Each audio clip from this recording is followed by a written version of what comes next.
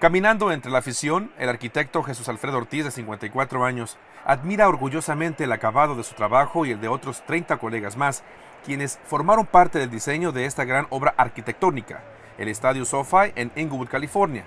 Un estadio que fue inaugurado en septiembre de 2020, luego de casi cuatro años de construcción, y que tuvo un costo aproximado de 5 mil millones de dólares para su edificación, según fuentes oficiales el cual servirá como sede del Super Bowl 56 el próximo 13 de febrero.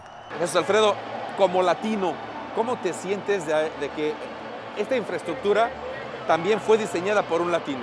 Bueno, pues orgullo. ¿eh? Siendo o teniendo raíces en México, siendo la, primera generación aquí en los Estados Unidos, uh, el primero de graduar del colegio y, y ahora dirigente o director de, deportes en la empresa de HKS.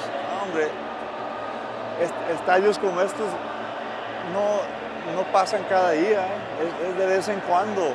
Y por eso yo digo que siendo de parte de un equipo de arquitectos e ingenieros, construyendo estructuras como estas, ah, es un orgullo tremendo. Un orgullo y satisfacción que como buen hijo nacido en Estados Unidos dice que comparte con sus padres, quienes tuvieron que dejar todo en México para buscar una mejor calidad de vida en Estados Unidos. Sí, no, sí.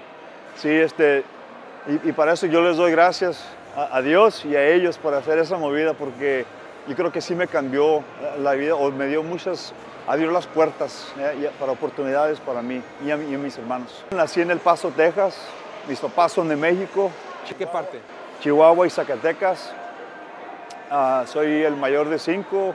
Ortiz cuenta que es a través de su profesión como trata de compensar su sueño de joven que no pudo realizar por varios motivos, dice. Desde chico tenía un sueño de ser futbolista americano profesional y para jugar por los Dallas Cowboys. Y este, bueno, e-, ese sueño se fue, me pasó, no pude por varias razones. No obstante, aunque no le pudo brindar a la afición tacleadas o jugadas emocionantes que anticipaba realizar, dice que como arquitecto sí les puede dar la oportunidad de que gocen de un buen partido de fútbol americano profesional desde la comodidad de un asiento en el estadio. Pero hoy, siendo arquitecto, ah, Dios me ha dado la oportunidad de, participar en proyectos de estos para equipos profesionales y diseñar esas experiencias no nomás para, los jugadores, para los aficionados y las ciudades en total. Durante los 30 años que lleva como arquitecto, Ortiz dice que aún tiene sueños por realizar. ¿Cuál es el, sueño más grande de Jesús Alfredo? Bueno, desde chico quería diseñar un rascacielos.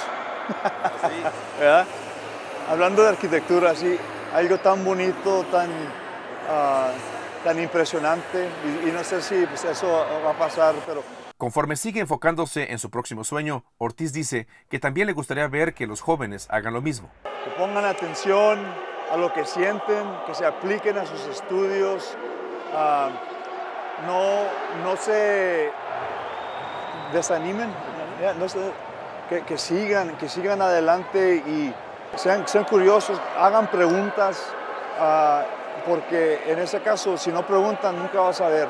Gonzalo Alvarado, CNN, Inglewood, California.